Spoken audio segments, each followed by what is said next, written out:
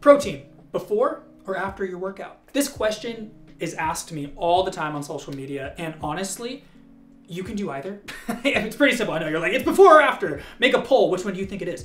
Uh, it's really not that big of a deal because even if you take your protein before or after, you're to need another protein drink or another source of protein throughout the day if you're trying to add lean body mass to your frame. One protein drink is typically between 15 to 30 grams of protein, but even if I took 30 grams or I did double scoop and had 60 grams, I still need more protein than that if I'm trying to get bigger.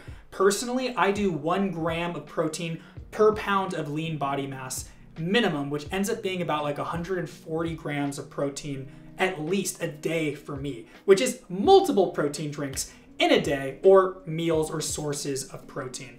Um, obviously, you don't have to drink it or eat a protein bar. You can get it from normal foods, um, you know, beans and rice, chicken, fish, turkey, whatever.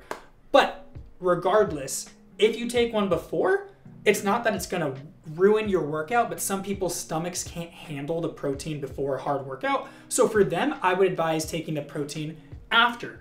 Now, what I do personally, I will take a smaller dose of protein about an hour before I go to the gym, just so my body has the amino acids in my body to pull from instead of breaking down my muscle from the workout. But I also tend to do a higher carbohydrate source of food before the workout to give me energy because your body likes to use carbs for most exercise styles. After the workout is when your body is more readily available to uptake protein. Um, they say there's like a nutrient timing window of about an hour to two hours. Truly, unless you're like a bodybuilder where like every half a percent matters, as long as you get the protein in the day, it's not that big of a deal. Think about it this way some people intermittent fast, which means they eat like one meal a day within an eight hour window. And I have met some really buff people who intermittent fast, which means they're getting that protein only in that one eight hour window that they're eating, which tends to be like one really big meal.